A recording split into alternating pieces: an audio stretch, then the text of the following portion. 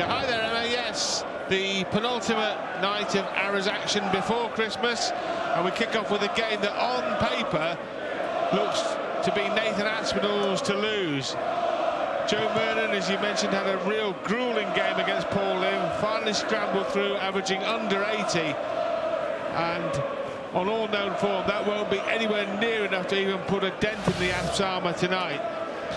Aspinall, a player that we've seen reach the semi-finals on two occasions in 2019 and 2020, where it took Michael Smith and Michael Van Gerwen to stop him respectively. And he really does look a near certainty here. When, when he arrived at the World Championship in 2019, he was a little-known young man from Stockport, but you tipped him to reach the semi-finals and people laughed at you. They're not laughing at you now, Wayne, are they? Well, not for that specific reason, anyway. yeah, I do get laughed at quite a lot, but no, not for but that you, reason. you picked him out as a guy that was going to go places, and boy, has he gone places I, since then. I did. He has got a swagger, he's got a confidence, he's got an ability. I think he's made for the big stage. I really do. I think he's one of those that, that flourishes and thrives under the heat of battle. Premier League runner-up and a UK Open champion, of course. Nathan Aspinall's got it. If he has it in this game, he's going to be too much for Murnan. But Joe, already, already noticeable. The pace of play greater than it was against Lim at any moment. Against Paul Lim, he was not thrown with any fluency. 43. And without much accuracy, unfortunately. He will be better tonight, but will he be good enough? That's the question. Joe Murnan used to go under the nom de plume of Shaggy. He seems to have dropped that.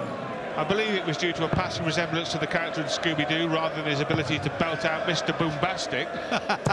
but he's lost the nickname now, hasn't he? And he's just plain old Joe Murnan.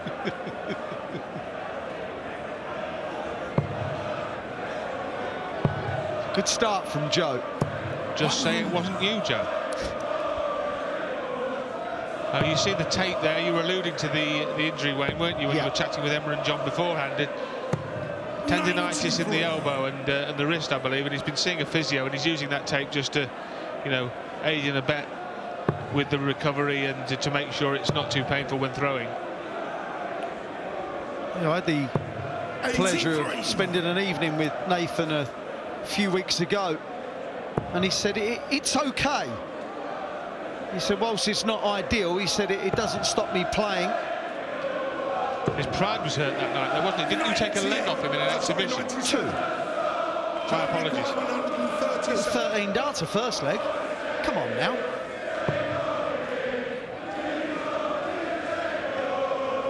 Well, Nathan, because he hit treble seven last night instead of a 19, he's not on a finish, he's on 168. But if he can make a dent in this, then that 78 that Murnan's on will not appear that easy. 100. Joey requires 78. Well, Aspinall has left the two-darter, and let's see how Joe Murnan is feeling. 20 to leave tops. One dart only at double. Game One is enough. First leg, Jagan and second leg, Nathan at front first.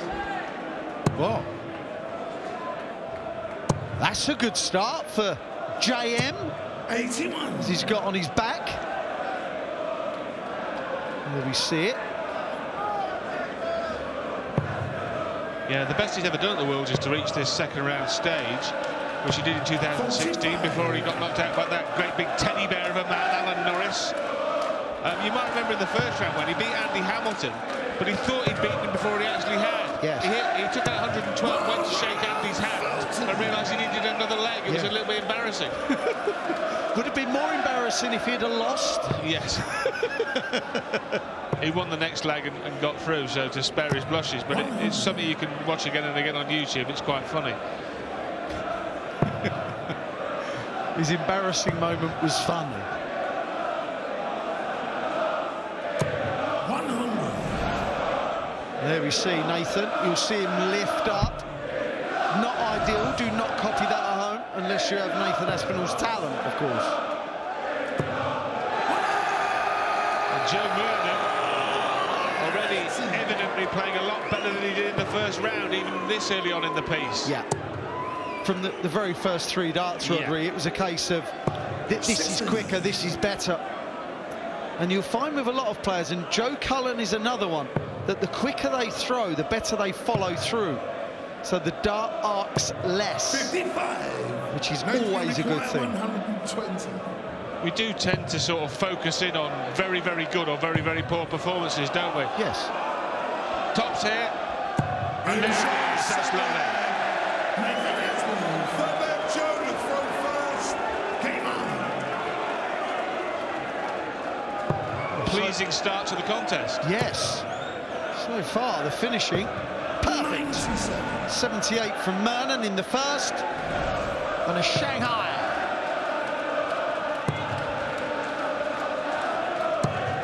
Eighty-three.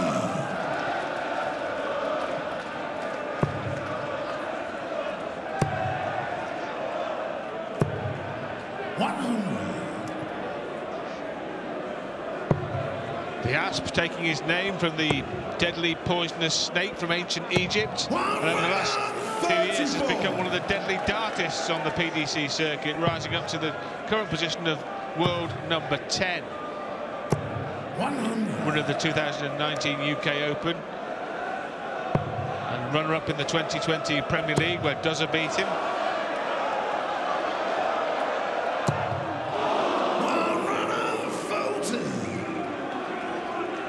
Start, good game, good pace as well. He's never been one to muck around, Joe, but he can sometimes Thirteen. overthink. I suppose everyone can. Forty-four. Touch of the way Marnell's there with two single fives. You'd have ploughed on, he switched to the 19s. Yeah, I'd have hit 15. Yeah, you'd have a, no, you'd have hit a treble five, to be fair.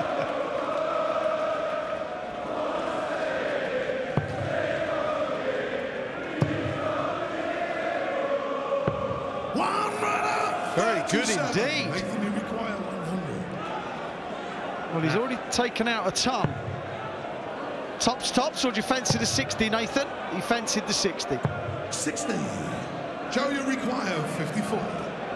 14 for Tops to regain the lead in the opening stanza. Missed a big number, three for Tops.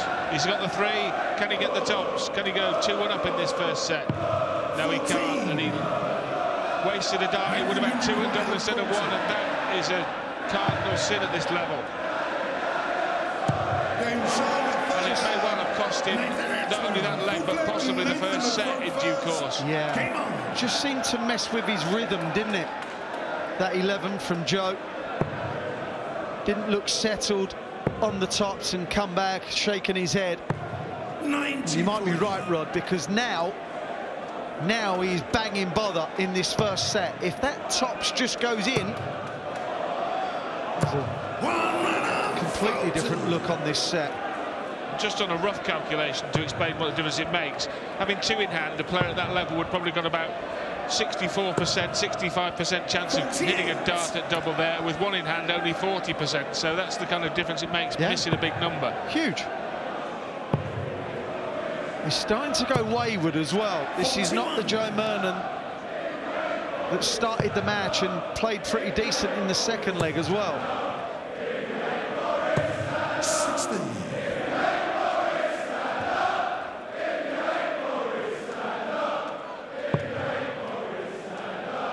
Nathan seemed to be paying some attention to 42. the tape on his arm. I'm hoping it's not feeling uncomfortable at all. Because you, you've got enough to contend with, haven't haven't you? There's, there's pressure on you and you just need to feel comfortable.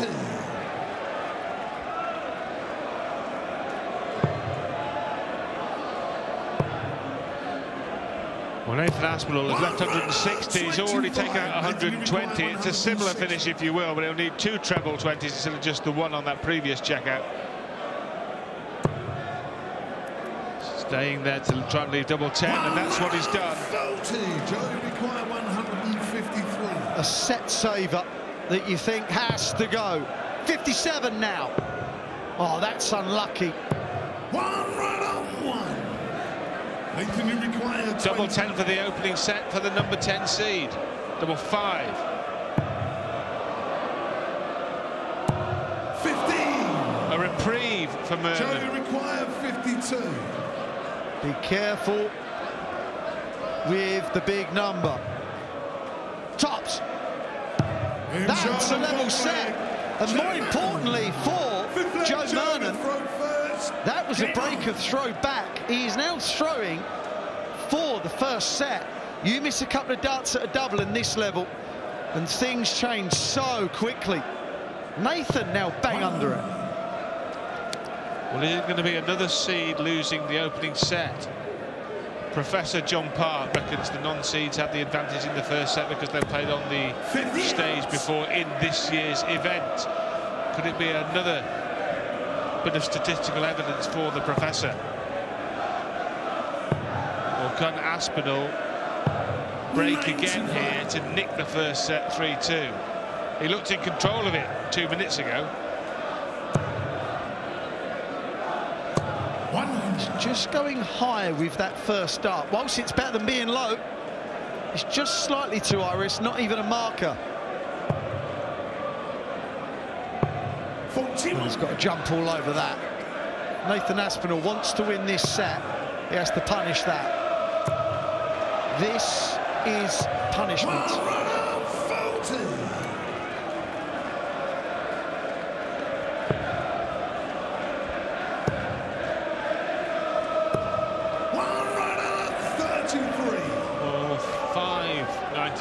5.95s would have left, 5.19, sorry, would have left the big fish. That's even better, leaves 132. Yeah. And oddly enough, Rodri, 170 you need one bullseye, 132 he might need two. Yes. yes! 73, 57 for 16 is what he should be looking at. 78. Now then, require 108. real business end of this set. Four 19s, leaves double 16. 92. And he'll be back for the target he's just hit accidentally if Merlin can't check out the 54. Last time he wanted 54, hit 11. This will go high near the nine. I told you that. Tops. Game That is the set. From 2-1 down in the set, he reels off the next two legs. Joe Merlin is a set to the good. Maybe. Early doors. Merlin won. Aspinall nil. Well, it was offered that Joe Mernon would need to improve on his first round win over Paul Lim, and he has improved. He's only missed one uh, double so far. And that man taped up on his throwing arm during the break. He was fiddling with the tape as well, Nathan Aspinall. Joe Mernon set to the good. Dirk van Duijvenbode takes on Boris Koltsov next. Then the 32nd seed, Kim Huybrechts, takes on Steve Beaton. And then it's Simon Whitlock who takes on Martijn Clearmaker. But right now, Rod, it's Mernon, one up. Took his chance, didn't he? He did indeed, and there's nothing clear here at the moment, that's for sure. It looked clear-cut beforehand, Wayne, didn't it? Aspinall was a 1 to 8 favourite to win this darts match when they started, and 25 to 1 to win the tournament outright. And Bernard, uh, Joe Mernon was dismissed as a 5 to 1 underdog for this game. But he did take his chances. Aspinall missed set darts, didn't he? Particularly a dart at double 16 off the back of a 108 combination in the final leg before Aspinall had to stand and watch as Joe Mernon swooped on 54 and checked out. Yeah, Rod there mentioning the combinations, and there you see, he's only missed one dart at double, Joe, and that was on tops. But he has taken out 78, 52 and 54. Look, they're, they're not blockbuster finishes, but look how important they were, and the timing of them propelled him to win the first set.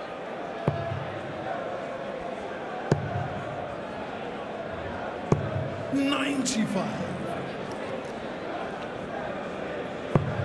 Joe started the year off so well. He was playing some of the best darts that he's ever thrown. And after six Players' Championship events, he was top of the averages, averaging nigh on a ton. And since then, yes, there's been a decline, but that shows you the, the ability of the man. 86. 85, sorry. Joey require 136. Well, as combinations go, it's quite a one that sits nicely on the eye. Two treble 20s for double A. 96. These tops. This is a better one for a pro. He'll, he'll fancy this. Oh, that's Andy, 60 ball. Happy accident, that. Didn't make use of it, but it, 47. it was. Joey require 40. Tops again here for Joe. There's And been nothing ordinary first about. Joe Joe tonight. Mann. Second leg, Joe to Three legs on the bounce. Game on. Yes. When will the Asp start to think, right, come on now. If he loses this leg,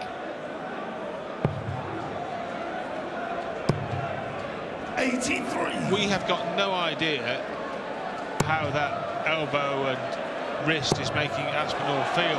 yeah. But these injuries tend to feel worse if you lose it. Don't they? Yes, they do. When you're winning, nothing matters, does it? You don't hear the crowd, nothing matters. And he's most definitely fiddling with the tape as well. It, there's something that, that is bothering him about it, whether it's the pain or the fact that the tape's too tight. Tape too tight. He's on a nine. Ah, this would be extraordinary. We've only seen two this year from Willie Borland and Lucky D, Darius Lamanauskas. Beware the injured darter. 100. Nathan, you require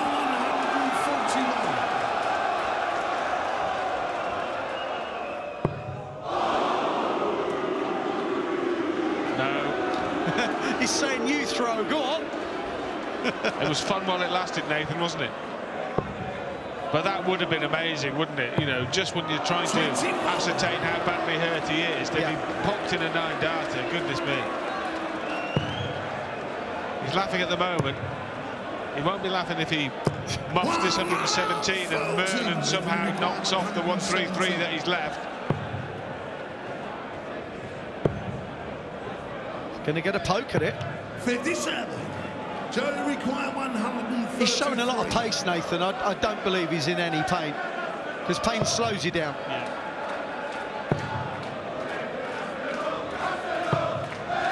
39. Nathan, you require 60.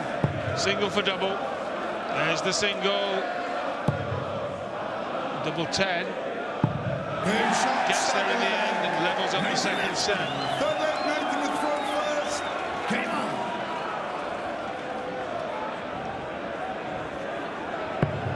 Yeah, his pace between throws is he's pretty quick for Sixty. Nathan. Yeah, he's fine. He's fine. There we see. Well, he was giving himself a slap there. If his arm was Eighty. hurting, he wouldn't have been doing that, would he? Exactly, exactly. I think he's he's fine.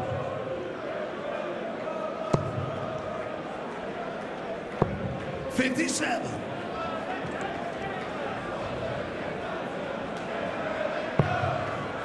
It's a leg in which Nathan threw first. And he's being outscored in it. It's only by a dart-ish. Or is it two darts? Yes. Right. Fifty-eight. Mernon effectively taken the darts. And if Szép jó estét kívánunk, tisztelettel köszöntjük a Sporttelevízió nézőit, a lasztit lecseréljük nyilakra, folytatódik a Dánc világbajnokság, és az első mérkőzésnek a második szettjében vagyunk, mint látható, ugye Nathan Aspinall Mörnennel játszik, és Mörnen nyerte az első szettet, egyelőre az átlagok kiírása alapján nem feltétlenül a legjobbak, és Aspinallnak sem igazán megy, legalábbis el eddig, hát aztán majd meglátjuk, hogy mit hoz a jövő itt a mérkőzést illetően. Vereckei Lajost köszöntöm, én is, szervusz Lali, Szép jó estét kívánok én is. killódik Nathan Aspinall. Vannak problémái, legfőképpen a kiszálló, az első szettet nagyjából azon bukta el, mert egyébként a körátlagok közel egyformák, 7 per 2 dobott az első szettben.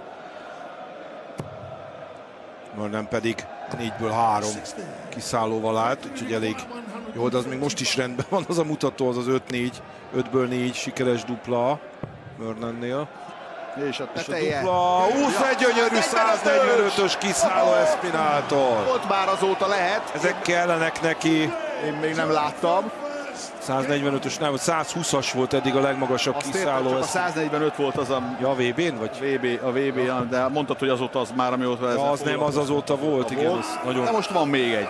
így van. Látszik, hogy a dobókeze nem egészséges, és be van ugye tépelve ezekkel a kinezió tépekkel, és az ö, most van egyel. Azt jelenti, hogy nem biztos, hogy, hogy tökéletes az a kéz, de Biztos, hogy nem, de hát tehát ettől függetlenül még csak egy. VB-ről beszélünk, ott vagyunk. így van. Jó. Na most már úgy tűnik, hogy kezd belejönni. 180! Ilyen a... Kezdi elkapni a feelinget, Nathan Espinal.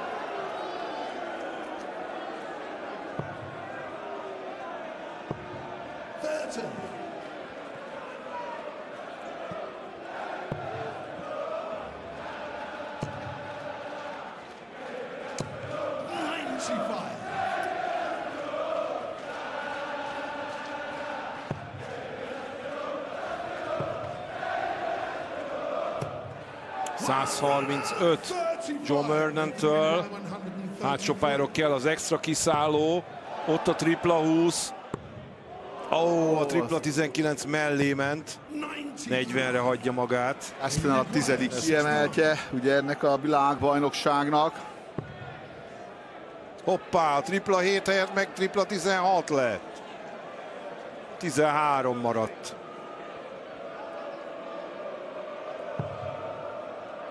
És a dupla hatot kéri.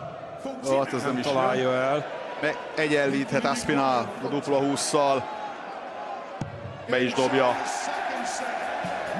Ezzel elviszi a második szettet Nathan Espinal. És kiegyenlíti a mérkőzés állását.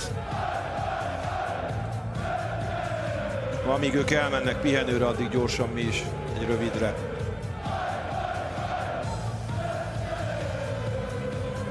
Annyi különbséggel az első fordulóhoz képest, hogy itt ugye nem lehet egy döntő szedben 3-2-re nyerni a legek arányát illetően, hanem ugye akkor ott két leg különbség kell.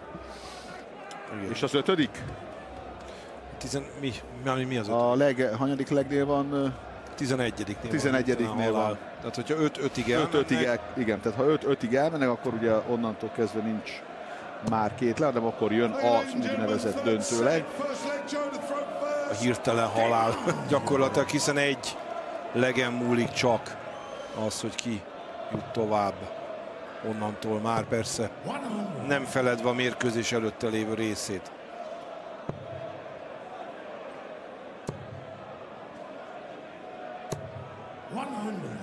És százassal kezdenek mind a ketten.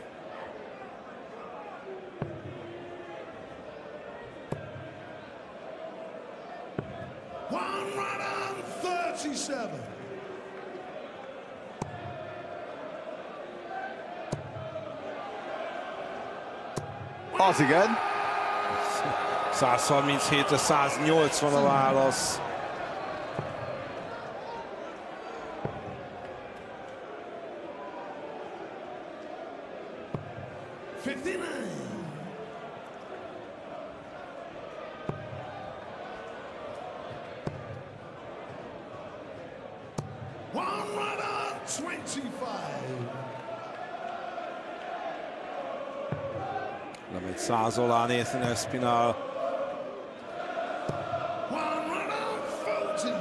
Require ninety-six.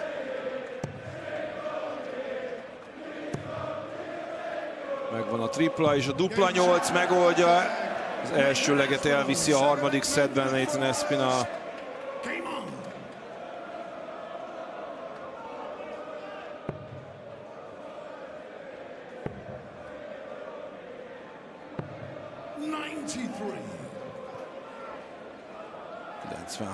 Kezdés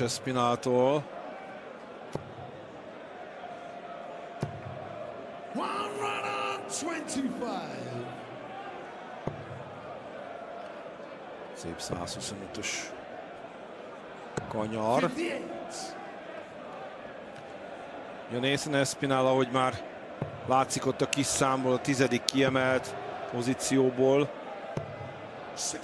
Várja a második körben, ugye Joe Murden pedig a Pro Tour ranglista 27. helyéről került be ide a világbajnokságra. 16.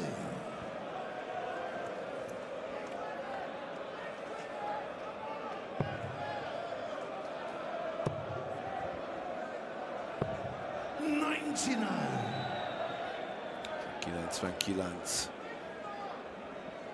érkezik most Mörnentől, kicsi előnyösebb helyzetben van a hátsó pályáról. Ez is 140. Fulton. 150-re mélyre, mert nem pedig jön. 2.17-ről. Kell, így nagyon kellett az a tripla. 136-ja van. Joe Mörnen, Paul Limet győzte az első körben, 3-2-re úgy került ide. 45. Nincsen kiszálló, sőt, még csak azt lehet mondani, hogy nagyot sem dobott Espinal. Itt viszont jön a tripla Mörnennek, meg még egy, és a dupla 8. Na most viszont meg kell, volt. viszont meg kell csinálni a 105-öt. A bullal. A 15 és a dupla 20 a játék, az megvan, és a dupla 20-szal 1-0 lehet. 65. Viszont ezt most elrontja. Na, nézzük a dupla 4-et. Game shot. Egy- Megoldja Mörnen, egy-egy az állás. Espinal elmulasztott egy lehetőséget, hogy kétleges előnye legyen. Ráadásul ugye hátsó pályás győzelem lett volna. 95. Ja nem, bocsánat.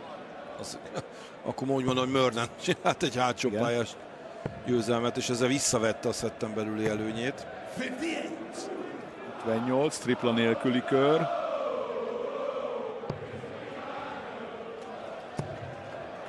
Hú, de szép. 140. 40 a folytatás.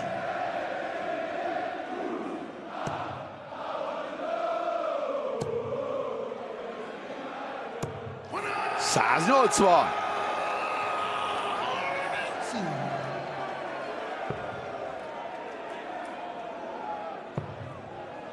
Ez jó a kerekítésre, odafigyel. 99.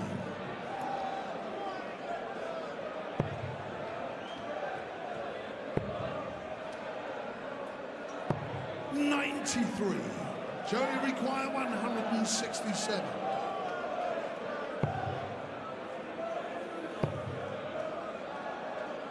One run out, thirty-one. Nathan, you require one hundred. 131. Ja, 36-ra megy le, Espinal 170-re, nem? Nincs kiszálló. 58. Joey require 36. Hú, közel van. Volt második nyíla, megvan Mörnennél, kettő egyre vezet. Nem, nem nagyon akarja engedni a dolgokat. Miért is engedné? 57. Egy tripla nélküli Hát kör. Espinal 87-es kör átlagon. Ez nagyon-nagyon nem jó. Fúha, baj van. 140. 40.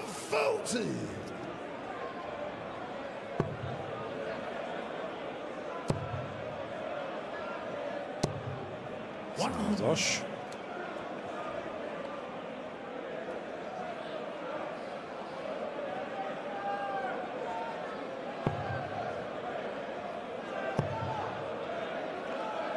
Azért az a 100 fölötti átlag a szetten belül az nem rossz.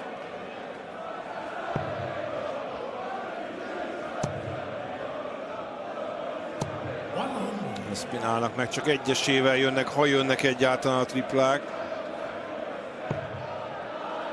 Most Mörnen már dob is egyet.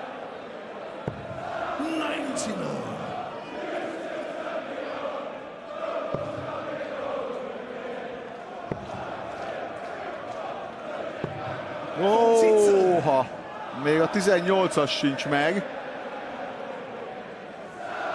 És így teljesen együtt vannak, tehát Mörnen mehet kiszállóra. És le is megy most már. 102 marad. Most jó. Az igen, 72-re teszi le magát Espinal. Picivel kedvezőbb, de Mörnen is megdobhatja ezt a 102-t. Főleg így a bullal. 32-t elhibázza. 72. És a dupla 20. De nagyon nem megy. És a harmadik szettet elviheti Joe Murnan. Dupla 16-tal. 2-1-re vezethet. És vezet is. Meg is oldja. Ezzel kettő egyre vezet Joe Murnan Nathan Espinal ellen. Hoofer.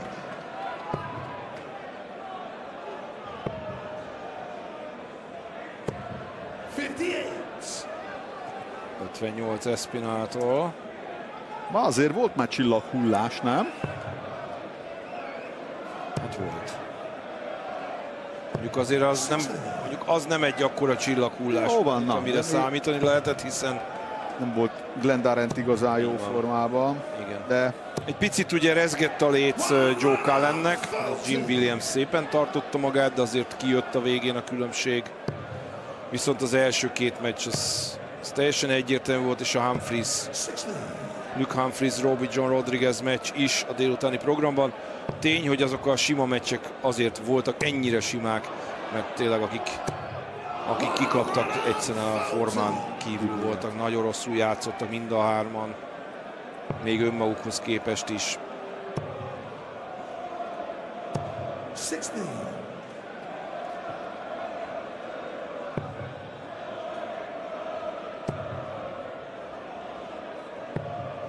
Forty-three. Nagyon rossz kör megint Espinától, pedig hatalmas az előnye, nyugodt lehetne, de mégsem nyugodhat meg. 100. Nathan, you require 120.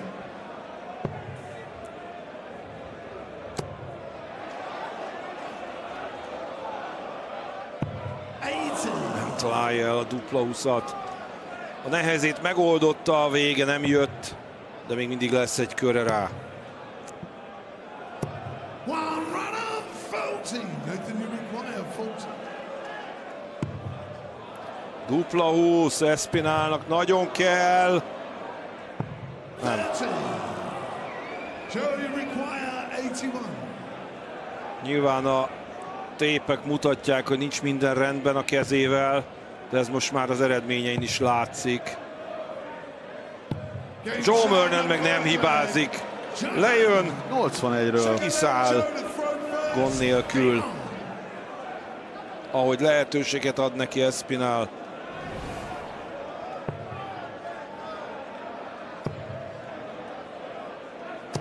One runner, 40. 140.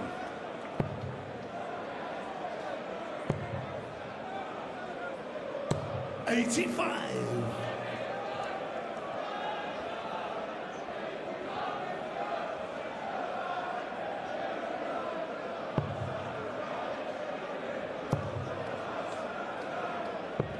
Fifty-nine. És Jó a tripla, itt látszódnak az átlagok, azért Espináltól ennél magasabbat szoktunk meg. 180. Egy 180. Hátsó pályáról. Az előbb sem a tömeggel volt mondjuk a gond, hanem kiszállóval. One runner, 23. Aztán most egy tripla 1. 42.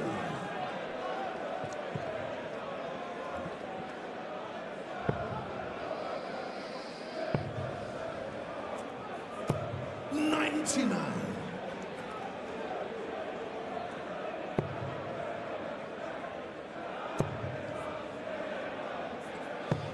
Fifty-eight. Joe, you require eighty.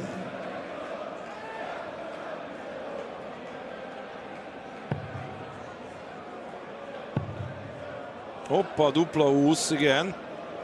Dupla 10 kell dobni az utolsó nyillal. Elszám. Elszámolta!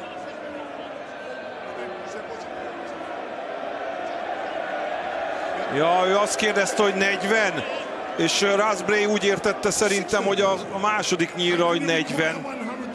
Hát az akkor érdekes, ha most a Ez- ez 136-ot most- megcsinálja. Ez most egy félreértés volt kettőjük között, nem De nem csinálja, csinálja meg. meg. Tehát Mörden gondolom arra kérdezett, hogy az 40? És erre azt mondta, gondolom a Raspberry miután a második nyilat dobta el Mörnen, hogy az 40 -e, amit bedobott, de Mörnen meg úgy értett, hogy annyi van-e a táblában. Aha. Ebből volt a félreértés, és azért dobott rá dupla 20-ra. Viszont megoldja, nem kerül semmibe ez neki, így azért Mörnen is könnyebben engedi el a dolgot, az biztos. Egy- egy leg- egy legre. Nathan Espinal kiesésétől ez a mérkőzés. 140.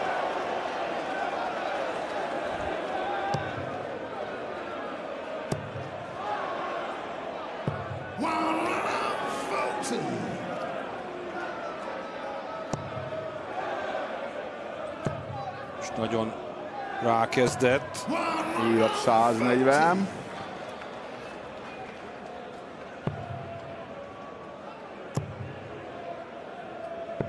Fifty-nine. Igazából Joe Murnennek nincs nagy veszteni valója, hogyha ezt a leget elengedi, amiben ilyen remekül dob most Espinal. 180! És nagyon más teendője, mint a sajátjára odafigyelni majd a következőben.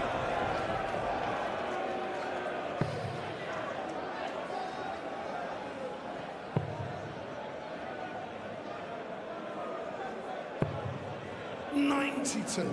Nathan require forty-one.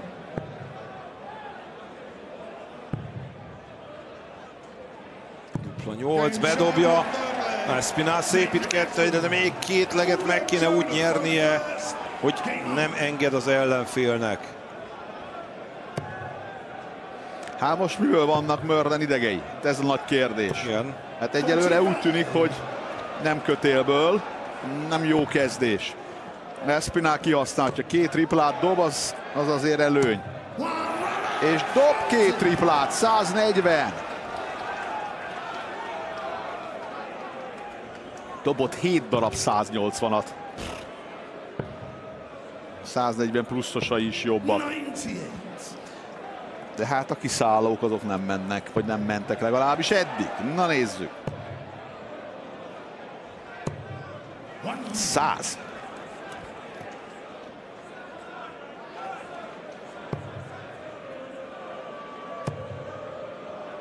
Most Mörren is dob egy triplát.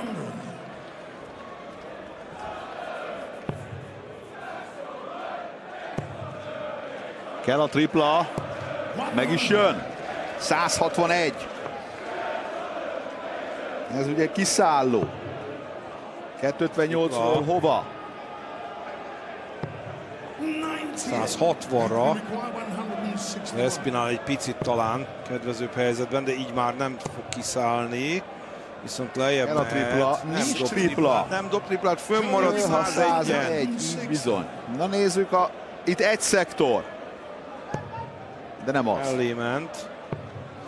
De ő dob triplát, és le is kerekíthet akár 75, ha jól számoltam, annyi maradt. Így van. 101. Meg kell csinálni. Hát meg. Megvan a tripla. Jó. Az egyes. Az is, és 9-es. a Az is jó. dupla. 16-ot nem csinálja meg. Kettőt. És itt most már nem az ő kezében van a döntés. Azt hitték, hogy megvan. Csomóan ott ugrabugráltak hátul. 18 és dupla 20. A meccs nyíl. És Fölé megy. Mörnen. Na, igen, ez most- lehet egyenlíteni. Nagy Dupla megúszás 16. volt. Bedobja. Ahogy kell. Kettő, kettő. És kezd. Most ő kezd. Meccsnyila volt Mörnennek. Igaz, hogy csak egy, de meccsnyila volt.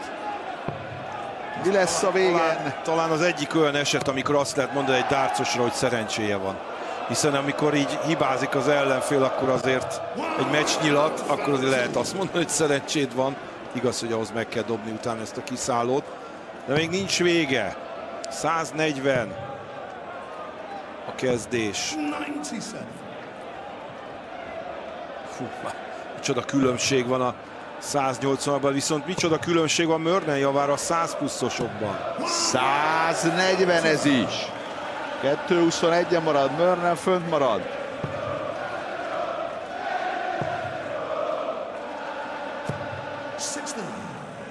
Itt fogy el lehet Mörnen. Az utolsó pillanatban, a hajrában.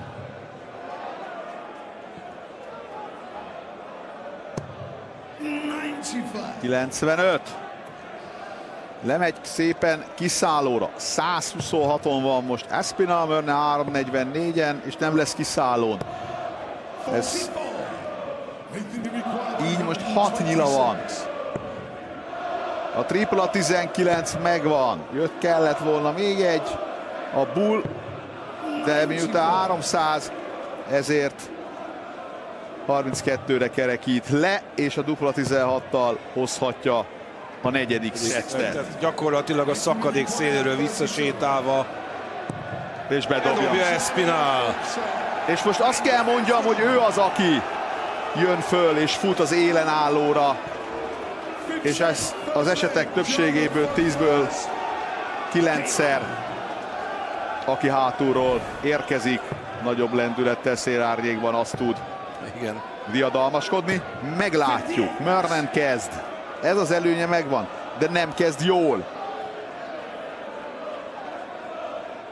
És itt már a tapasztalat és a rutin az inkább Espinal mellett van. Igen. Bőven 90, itt látható milyen legekkel hozta. 0-2-ről három leget nyerve zsinórban, 12, 16, 13, és ugye ott a negyedik legben volt egy meccsnyila Joe Murnennek. Ezt azért 140 lelkileg is nehézem feldolgozni, hogy ott volt az esélyed. Igen, lezárhattad volna a meccset. Igen. Nem akármilyen skalpal, pont azt néztem, hogy ugye eddig két meccsük van. Egymás ellen mind a kettő John Murnen nyerte. Tehát azt ne felejtsük el. Volt egy 6-2-es, egy 6-4-es találkozó, ugye ezeket legekre játszották. 96. Tehát nyert legekre talán pontosabb. 180, Espinal nincs kiszálló. Nézzük Mörnent. Ő lemegy kiszállóra. A 140, gyönyörű. 180-nal lemehetett volna 40-re. 180-ról nem tudja befejezni, de most ott jön a ott, igen, ő viszont nem egy 40-re. Joe, you require 80. De a 80-nal vezethet ismét. Oh! Rámegy a két duplára ilyen szituba. 16. Azt a mindenit, de kemény. Nathan, you require 40. Nem semmi. Na, Na, Dappá! Espinal se dobja be. Joe, elrontja.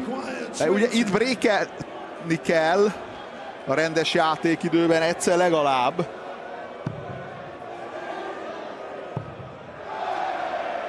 Dupla öt, bedobja! Mörnen vezet. Újra vezet.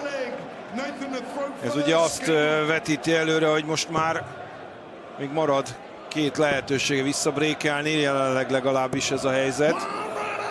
34. De a saját kezdést meg mindenképp hozni kell, nem egyszerű a helyzet.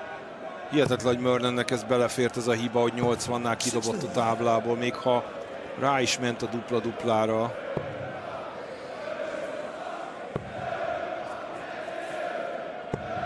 Most megáll Espinal is, most tömeg sincs.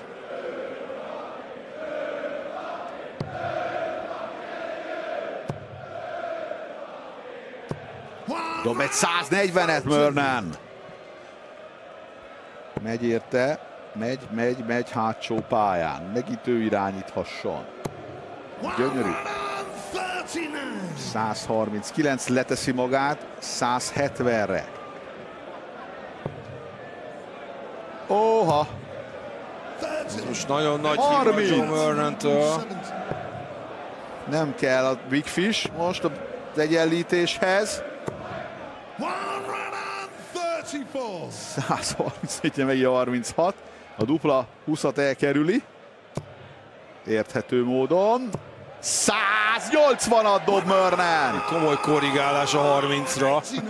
Viszont a dupla 18-al egy-egy lehet. Lejjebb kell. Duplákkal nagyon nagy gondja van Espinálnak. Folyamatosan gondja van a duplák, és 91-re le tudott jönni. Tökéletes, és Két a teteje, A dupla Dupla húsz. 20-ra! és nem dobja meg ős. A mindenit. Hát tényleg adogatják egymásnak az esélyeket. Dupla 9. De közel. Bedobja. Bedobja a Egy, második egy. fast. Megint ott volt egy lehetőség Mörren kezében, és megint nem tudott vele élni. Lehet, hogy beleszaladunk egy tiebreakbe?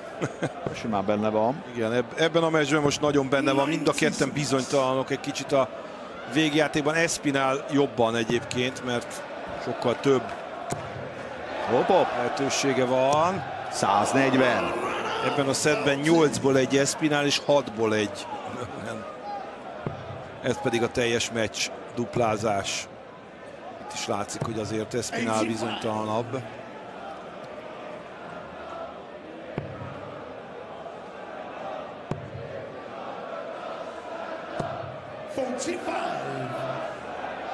Kevés, 150 után.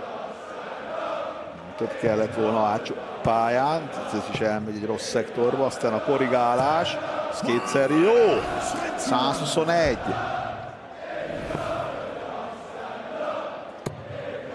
Juhú! 180! 136-ja marad! Kiszállóra dobhat. A tizedik volt a meccsen, az tizedik 180. És ebből 8-at dobott Espinal. 103. Na nézzük. Bedobja az első. Dobja a Másodikat másodikat. is! És a dupla 8-at elrontja. You require 103. Kiszállt majdnem 300 ról Az elmegy az ötösbe. Itt újra kell kalkulálni. A tripla 20 98. dupla igen. 14-et írják. Ja, tripla 5, bocsánat. Tripla 20. Így nincs. Ez így, így van. Elveheti ezt a leget. Aspinál és kezdhet a győzelemért, ha bedobja a dupla 8-at. Ki kell állnia, nagyon betakar. És bedobja! Megoldja! Kettő egyre vezet. Ez most nagy lehetőség volt Mörnen előtt. Most hátsó pályáról kell Joe Mörnennek megoldania azt, hogy tiebreakre mentse a döntő szettet. Na nézzük, oda áll szépen, és akkor elkezdi dobálni a nyilakat. Egy. Kettő. 140. 140. De hát azért ez nem olyan rossz kezdés. Nem rossz első pályára a 140 egyáltalán. Sőt, Főleg így. Pláne, hogy nem Főleg így, triplát 60 Mörnen. at dob csak. Ott van még egy tripla. Meg még egy tripla. 121. 200 pontnyi különbség van már. 45. Uha, elment. Börnen, ezt most nem, azt nem, nem mondom, hogy föladta, de Hát most 60. Pedig hát amilyen bizonytalan rá. nyugodt szívvel kéne még küzdenie, mert a befejezései még hagytak némi kívánnivalót maga után. Megint nem dob triplát. Ez a, a döntő, tehát a számára döntőlegben nem dob triplát. Egyelőre Mörnen. Nem úgy Espinál, aki 80-ra te- megy le. És rengeteg lehetősége lesz befejezni a meccset. Most dob egy 140 ez mondjuk nem, nem rossz, mert így 196, de nem kiszálló. 60 marad, így most már ki kell emelnie. Megvan, és most átáll a másik oldalra, mert onnan van némi Négy meccs rálátása. bedob. Ő bedobja az elsőt. Azt a betyár mindenit. Honnan? A tizedik kiemelt gyakorlatilag ugyanúgy jár, mint ahogy minden kiemelt járt a második fordulóban az első meccsén. Pitang nehéz módon, de, de hozza a kötelezőt, mert azért ez végig csak kötelező, bár ezen a szinten nagyon nehéz ezt ö, Hát Mördenc nagyon sajnálom, mert rettentő jól dobott. Csak amikor nagyon kellett a plusz, vagy kellett volna plusz, akkor nem ment. Hát még nem dobta be a meccsnyilát. Azért azt ne felejtsük el. Mert hogy volt meccsnyila, igen. Így van. Na egy pici szünet, és aztán jön Dirk van Dijvenbode és Boris Kolcov mérkőzése. Ez lesz kettőjük első összecsapása.